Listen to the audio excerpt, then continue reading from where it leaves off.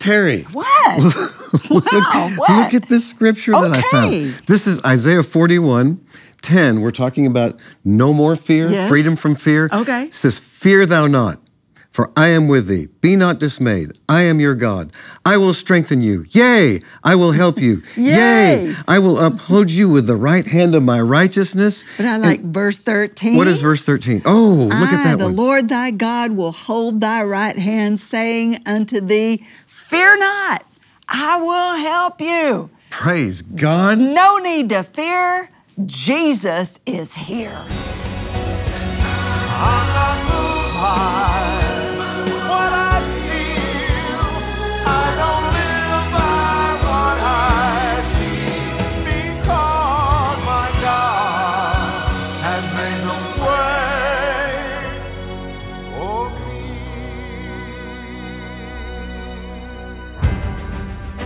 With so much happening in the world, you might wonder if it's even possible to live without anxiety. Learn how you can live in total peace with the Freedom from Fear package, a mini book by George Pearsons called No Fear Here, and Freedom from Fear, an audio teaching by Kenneth Copeland. The Bible says that God's perfect love casts out fear. Faith will overcome fear every time. Learn to keep your heart and words aligned with what God says. When you get God's word in your heart, you have peace instead of worry, hope instead of dread, and faith instead of fear. You can be so filled with God's peace, there is no room for sickness and lack. Understand that God loves you, provides for you, and protects you. Grow your faith and declare over your life, no fear here. Then live the rest of your days free from fear. Jesus defeated all fear and has given you the victory. Request the Freedom from Fear package, free from Kenneth Copeland Ministries, at kcm.org slash TV special or when you call 800 600 7395. You've not been given a spirit of fear, but of love, power, and a sound mind. This free offer is good for 60 days. Outside of the U.S., shipping charges may apply. Contact your regional office for more information. We're Pastor George and Terri Pearsons, and we're talking about freedom from fear. That's a good thing to be free from. It really is. Fear, fear Yeah. George, is bondage. To be afraid. How, how many lives have been ruined because people were afraid, uh, afraid to uh, do the very thing that God had called them to do, but fear stopped them. Fear from all kinds of entrepreneurial ideas. You wonder why, maybe why you're not blessed. Maybe you've been afraid to step out in things that the Lord has called you to, but the devil's interrupting his plan by the force of fear. Yes, that's right. And I just really sense right now, we've got some people that are watching us. You've gotten some bad news. Whatever it is, whether it's a court case or a physical mm-hmm. situation, financial, um, and the temptation is for that fear to try to rise up on the inside of you and take over your thinking, take over your attitude. And as we've been talking about being free from fear, you just look to Jesus, you look to the Word of God, and He will show you the path, He'll show you the way, He'll give you the answers, He'll show you exactly and precisely what to do. There is hope in Him because He is good to us and He's good to us all the time. So, Father, in the name of you, Jesus, we pray over everyone who is watching, especially those that have received some kind of news. And I thank you that their hearts are becoming established in the Word of God. They are not shaken, they are not moved. I thank you, Lord, that you are manifesting your goodness to them, and we refuse to fear. Say this after me I refuse. I refuse. I refuse to fear. I refuse to fear. News, News, bow your knee bow your knee to the name to the name which is above every name. which is above every name. I am free I am free from all fear from all fear. in Jesus' name. In Jesus' name. Now, the outlines that we are working with during this series are available to you. Go to kcm.org and you can print those out. You can use those. You can, pastors, you can distribute them in your churches if you're to, if you want to have a series on freedom from fear. These gives, this gives you all of the scriptures, all of the thoughts that we've been talking about here. They're all available to you, and we want to make them available absolutely free to you. So today, Terri, we're talking about freedom from fear and the scripture, uh, Psalm 34 4 I sought the Lord, he heard me and delivered me from all my fear. That's it, all fear. All fear gone, totally.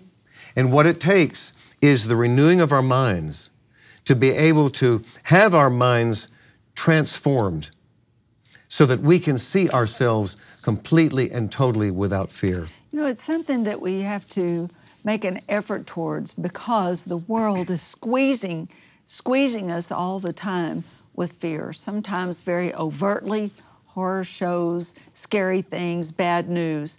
But there are other things that happen in life that come in the disguise of something else, cartoons or uh, humor, mm-hmm. humorous ideas, but they, they support the spirit of fear and they support your expectation of something to be dreaded, something to be afraid of. Um, what one guy thinks is funny is not so funny to another one. Mm-hmm. So you have to guard your own heart and you do it with the Word of God. And that's yep. why, again, we have these. I set this over here, yeah. but we have these this free product here. That we want to give you this little book and this Freedom from Fear MP3 by Brother Copeland. Information is right there on your screen. Why are we promoting this? Because fear, fear not only affects you, it affects those around you in as our television audience, as our partners, our friends, but as part of the body of Christ. It's time for the body of Christ to not be afraid, not afraid to stand up in the in the public arena, not afraid to stand up in the political mm-hmm. arena, the social mm-hmm. media arena, the medical arena, education. We have to be strong in the Lord and the media and everybody else is going to tell you be afraid be afraid be afraid. They're going to they're going to ruin you. They're going to take this from you yeah. etc yeah. and that's why it affects all of us and for the church to rise up. Yeah. And that's our mission is to teach people who they are in christ yep. and what's available to them through the work of, of jesus. I can remember years ago Terri and you'll remember this too that my mother was diagnosed with cancer. And uh, they lived in another part of the country, and you and I flew there for the specific reason of being with her. And we, we loaded up on the teaching material, and this actually was one of the series that we brought to her to listen to.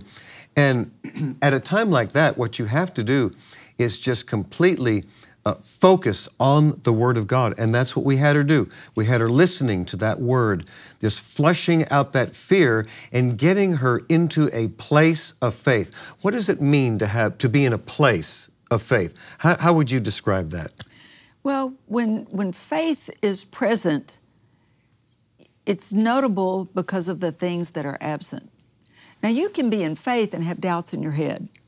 You can be in faith and fear come at you. I told the story the other day about being in Guatemala mm-hmm. and we're being shot mm-hmm. at when my body's responding with adrenaline, but the presence of fear, real fear in my mind or in my spirit, it just wasn't there. Yeah, Praise yeah. God. Yes. Praise God for training. Thank you, Lord, that we are well trained in the Word. I'm so thankful for that. Yeah. But the presence of faith removes fear. Uh, and then because we know that faith can also deal with the problem. You know, the, the problem itself is one thing. Fear of, of the, the, problem, problem. is exactly. something else. That's good. And the pressure that it delivers undermines mm-hmm. the working of your faith to deal with the problem. Yeah. So people don't deal with the fear, then they're trying to use their faith for healing or finances or res- restoration of some sort, but fear is undermining it. You don't deal with the fear, then the faith effort that you're making is diluted and weak uh, and quite often falls short because faith is rooted in the love of right. God, God's right. love for you, God's love to you, and through you. So, in this today, what we're talking about is taking authority over fear. We have authority over fear. And we're starting with Hebrews 2, verses 14 and 15. Jesus defeated the master fear. What is the master fear?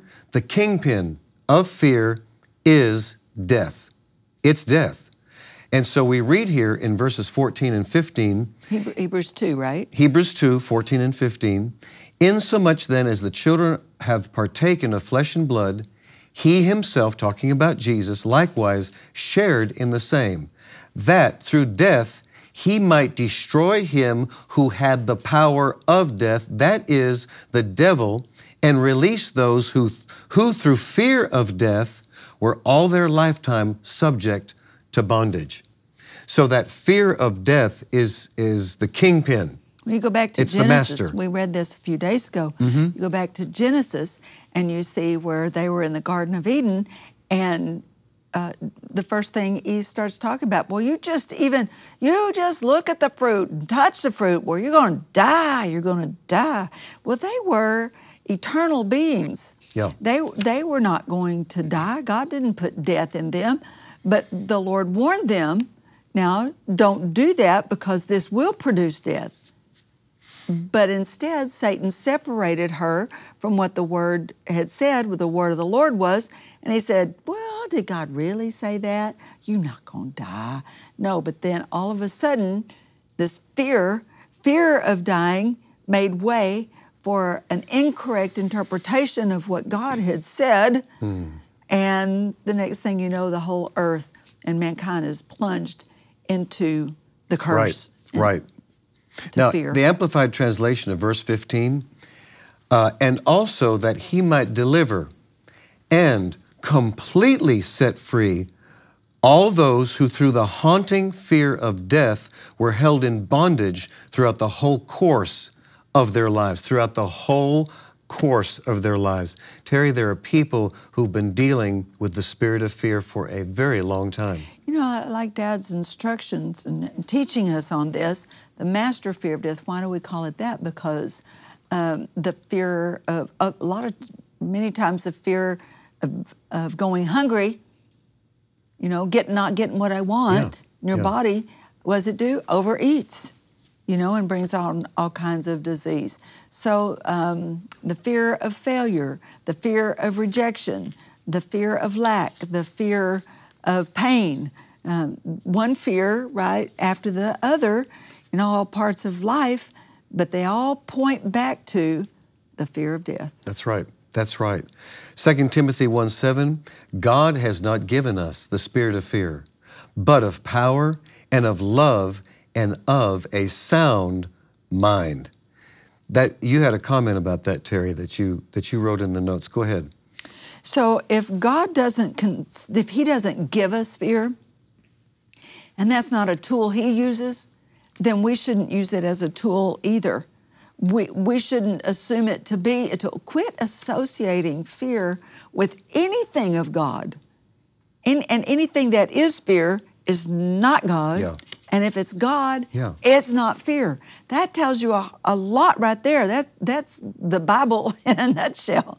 Jesus said, The thief comes to steal, kill, and destroy. I came to give you life. That's the dividing line of the Bible. If it's fear produced and fear generated, it's not God. He That's doesn't right. give us a That's spirit right. of fear. Now, He will warn us. Yeah. And there is fear attached to those warnings.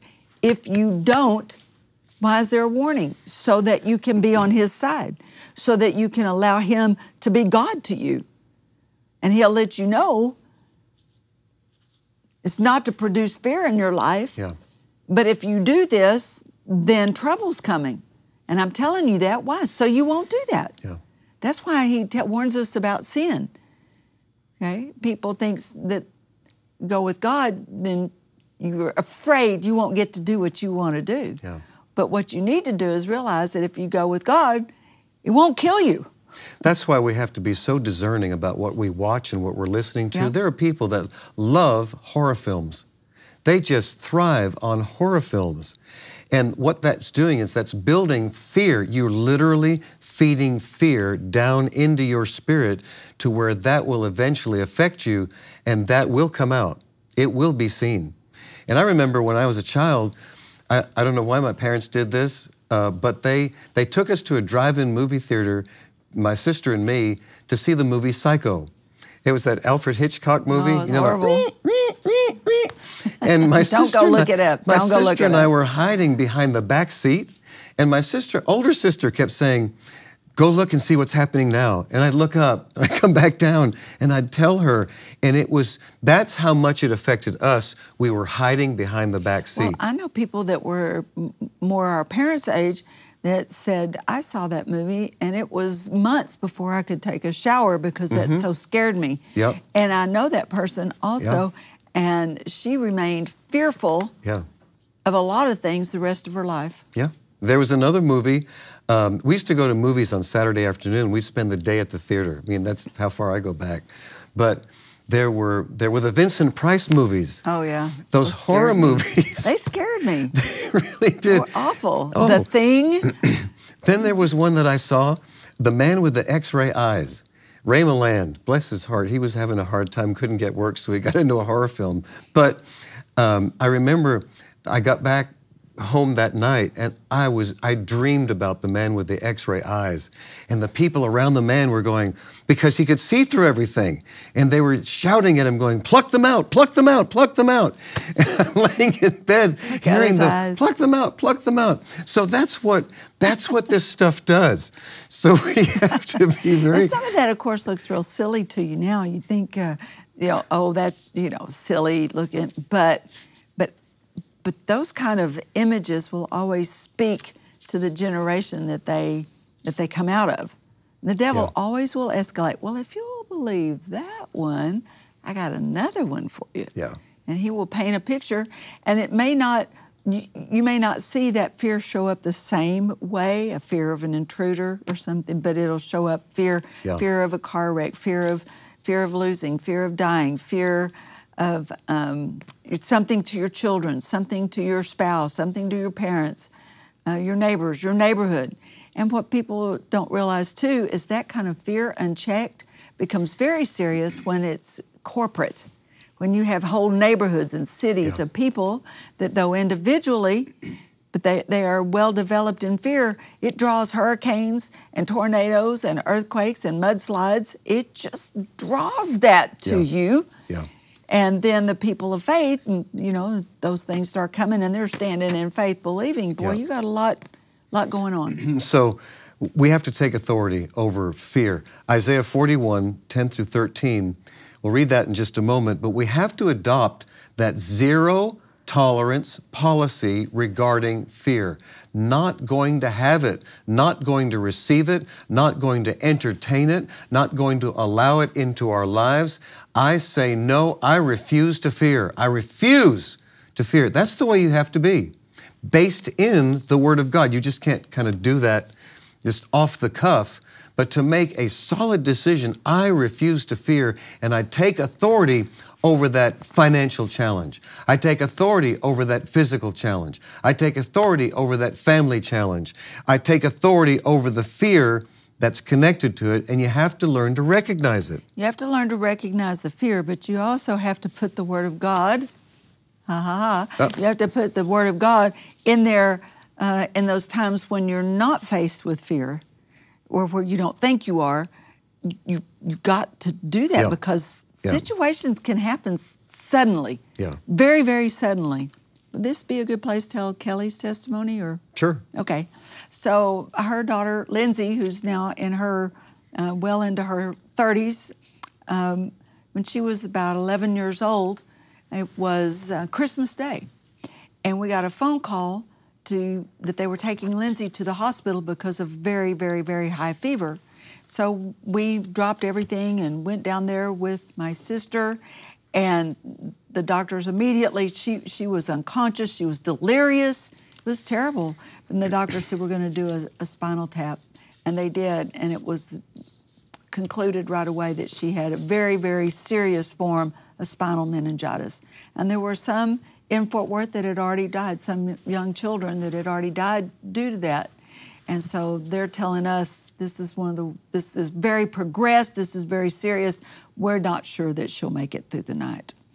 and we don't really think she will. My dad was off in another state, and so uh, George and I we pulled over to the side with Kelly, my sister, and she looked at me and she said, "I refuse to fear." We were in the room when they had taken that that spinal fluid. It looked awful. Yes. We were in the room when it was five, six adults, men, trying to hold her down. She was thrashing so violently. But I tell you, the faithfulness oh, man. of mm. God mm, mm, brought her not only out of that healed, but every symptom and sign of things that it looked like her body would be left with, she was completely restored. Yes. But the key was Yeah. I Refuse. refuse to fear. Yeah. And then we pressed in. We pressed in by faith. So while she was staying with Lindsay, I'm over under a blanket over my head in the lobby, praying in the spirit, confessing the word, and taking our stand. But we we Yeah. grabbed fear. Yeah. Refused fear Yep. together as Yeah. a family. We refused that fear, Yeah. and then we were able to hear the voice of the Lord. Do this, say that, Yep. Pray this. took authority. we She took able to. authority over it, and then I believe it was after that that we took communion with Jerry, Mm-hmm. Jerry Savelle, Savelle. Carolyn Savelle, Yeah, while Dad was in flight Kelly to and get I to us. in the little chapel they had. And I tell you what, that whole thing lifted. It lifted. It just lifted. The pressure. And there was such a confidence. But the reason we can do that is Isaiah 41:10. Fear thou not. Fear thou not. Why? I am with you. This is important. God is with you. Yeah, but George, it's not just the the I am is the with I you. am. That's right. It's I am. I am. The I am. I am with of, you. of Israel is with you. Be not dismayed, for I am your God. I will strengthen you. I will help you. I will uphold you with the right hand of my righteousness. That scripture right there is reason enough given to us to be able to take authority over whatever fear is trying to come into our lives. That is a command. Fear not is a command from God. So we have to take that command, stand on it, act on it, and realize that the great I am is with us. So we're not dismayed. He is our God. He will help us. He will uphold us. And I believe I'm saying that. I'm saying that to people right now watching us from all over the world. Fear not. Fear not. Say okay. yeah. Say okay. Say, I receive that. I won't fear. I believe it. I won't fear. I believe it. So, Terri, what I want to do is go to that last page. Yes, sir. And I want to go through this pretty quick because we're just about to wrap up here. But in these notes, and also in the materials that we're giving you, are scriptures. Those are scriptures that you can stand on to take authority over the devil where fear is concerned. I'm going to read the first one, you read the second one. And this is just a taste of what it's like to take authority. It says in Psalm 3 6, I will not be afraid of ten thousands of people who've set themselves against me round about. Terri? Psalm 23, verse 4. Even though I walk through the valley of the shadow of death, I will fear no evil, for you are with me. Yes. God, God is with me. Psalm 27 1. The Lord is my light and my salvation. Whom shall I fear? The Lord is the strength of my life. Of whom shall I be afraid? Psalm 27, 3. Though an host should camp around against me, my heart shall not fear. Though war should rise against me, my confidence is in him. Think about who your confidence is. That's is right. in. My confidence is in Him. Psalm 56 4. I praise God for what He has promised. I trust in God, so why should I be afraid? What can mere mortals do to me? What we have to do is think on an eternity yeah, level. Because we're trusting in God. What can people do? Think higher. Think think eternal. Okay. Mm-hmm. Uh, Psalm Psalm 118, 118, 6. The Lord is on my side. I will not fear. What can man do to me? I refuse. I refuse. Psalm 112, 7. I shall not be afraid of evil tidings. My heart is fixed, trusting in the Lord. My heart is established. I shall not be afraid. Thank you, Jesus. Luke 12, 32, the Amplified Classic, my heavenly Father said, Do not be seized with alarm, struck with fear, little flock, for it is your Father's good pleasure to give you the kingdom. Say, I receive it. I receive it. Philippians 1:28. I am not for a moment frightened or im- intimidated by anything by my opponents or adversaries. And finally, 2 Timothy 1 7, God has not given us a spirit of fear, but of power and of love and of a sound mind. A mind that's at peace, a mind that's at rest, a mind that is sure of who is Lord. now say this after me. In the name of Jesus, In the name of Jesus, according to the word of God, according to the Word of God, according to these 10 scriptures, according to these 10 scriptures, I take authority. I take authority Right now. Right now. Over fear. Over fear. Fear, Fear. You bow your knee Bow your knee to the name. to the name Which is above which every is name. above every name. And, and uh, I, I remind you, Satan, I remind you, Satan, Jesus destroyed the master fear, Jesus destroyed the master fear, the fear of death. the fear of death. I am free.